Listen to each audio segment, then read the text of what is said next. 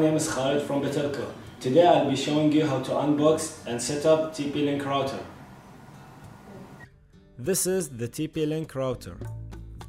Inside you will find the ADSL filter, the power cord, two telephone wires and ADSL wire, Ethernet cable. On the top side here you will find the lights indicator.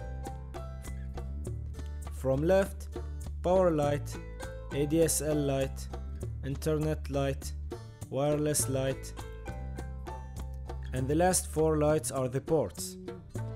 On the back side of the router, you will find the power input, the power button, WPS button, Wi-Fi button. And this is the ADSL input. This is how it looks after you connect the cable.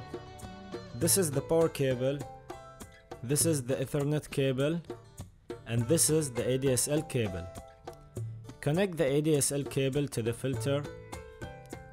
Then connect the filter to the telephone socket. Connect the Ethernet cable to your computer.